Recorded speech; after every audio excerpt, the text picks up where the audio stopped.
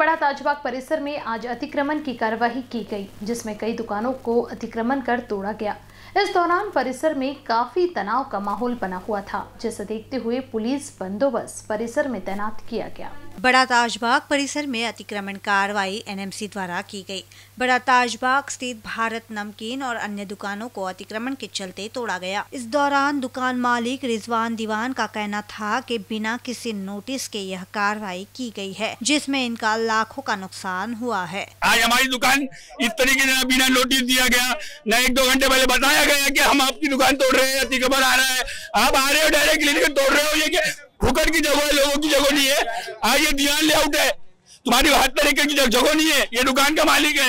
आपने इसको बताया लेटर नहीं दिए लेटर नहीं दिए सामान भी सरकार ने नहीं दिया आपने बराबर मार दिए पूरा। ये पूरा महँगे मोल का कैमरे वैमरे सब टीवी बीवी सब गिर गई है। ये कौन भर के देगा? अभी पाँच लाख रुपए लगाया मैंने चार महीने। ये भारत ये भारत नमकीन।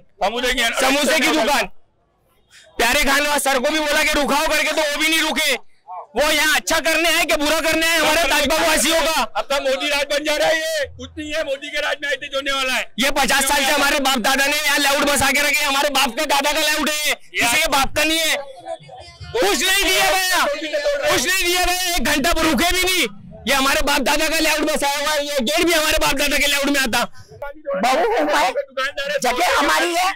खरीदी हमारी है, हम फुटपाथ पे नहीं बैठे उनका तोड़ने का कोई हक नहीं था। उन्हें नोटिस देना था।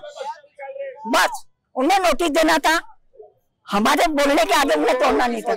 कुछ भी नहीं दिया।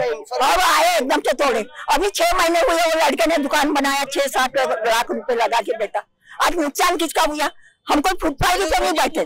खुद का हमारा ज़रिया है, हमारा खुद का मकान है, खुद की जगह हमारी। भारत नमकीन दुकान के मालिक का कहना था कि उनकी दुकान को बिना नोटिस दिए अतिक्रमण विभाग के दस्ते ने तोड़ा है। तो हमारी टीम ने अतिक्रमण विभाग के अधिकारी अशोक पाटिल से जाना। तो पाटिल का कहना था कि उर्स के पहले अतिक्रमण हटाने की कार्रवाई हर साल की जाती है। साथ ही इस कार्रवाई से पहले सभी दुकान मालिकों को इस बात की जानकारी दी गई थी। सब सबको जानकारी दी गई है। उनको सबको मालूम है इनका कितना इंक्रोचमेंट है करके और इससे पहले ऑटो भी घुमाया था और बार बार इनको बताया गया कि तुम्हारा जो शेड है टेम्पररी शेड है, वो निकाल दीजिए करके। और जो कार्रवाई हो रही है, वो टेम्पररी शेड की कार्रवाई हो रही उनको सबको मालूम है। और ये पहली बार कार्रवाई नहीं हो रही, हर साल कार्रवाई होती है। जब जब भी उर्स आता है तो हर साल वो कार्रवाई होती है, अति उर्स के पहले।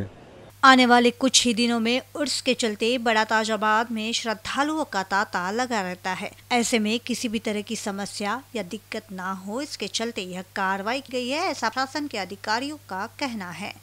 कैमरा पर्सन राजकुमार मोहड़ के साथ क्षितिजा देशमुख बी न्यूज़ नागपुर।